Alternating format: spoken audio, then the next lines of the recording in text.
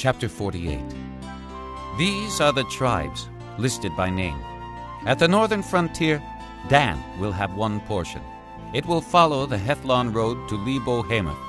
Hazar Enan and the northern border of Damascus next to Hamath will be part of its border from the east side to the west side. Asher will have one portion. It will border the territory of Dan from east to west. Naphtali will have one portion. It will border the territory of Asher from east to west. Manasseh will have one portion. It will border the territory of Naphtali from east to west. Ephraim will have one portion. It will border the territory of Manasseh from east to west. Reuben will have one portion.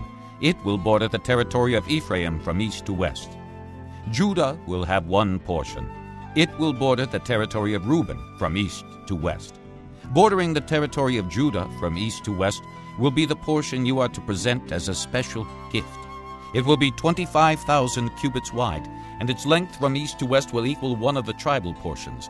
The sanctuary will be in the center of it. The special portion you are to offer to the Lord will be 25,000 cubits long and 10,000 cubits wide. This will be the sacred portion for the priests. It will be 25,000 cubits long on the north side, 10,000 cubits wide on the west side, 10,000 cubits wide on the east side, and 25,000 cubits long on the south side. In the center of it will be the sanctuary of the Lord.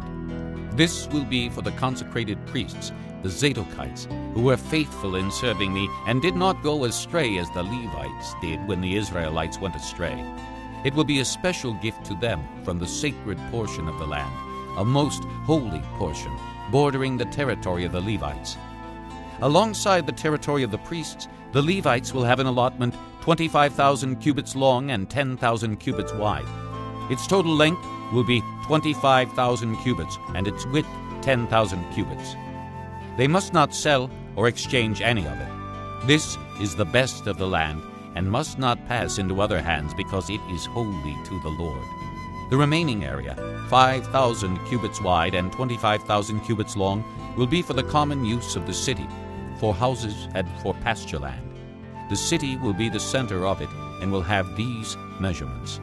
The north side, 4,500 cubits. The south side, 4,500 cubits. The east side, 4,500 cubits. And the west side, 4,500 cubits. The pasture land for the city will be 250 cubits on the north, 250 cubits on the south, 250 cubits on the east, and 250 cubits on the west. What remains of the area, bordering on the sacred portion and running the length of it, will be 10,000 cubits on the east side and 10,000 cubits on the west side. Its produce will supply food for the workers of the city. The workers from the city who farm it will come from all the tribes of Israel. The entire portion will be a square, 25,000 cubits on each side. As a special gift, you will set aside the sacred portion along with the property of the city. What remains on both sides of the area formed by the sacred portion and the city property will belong to the prince.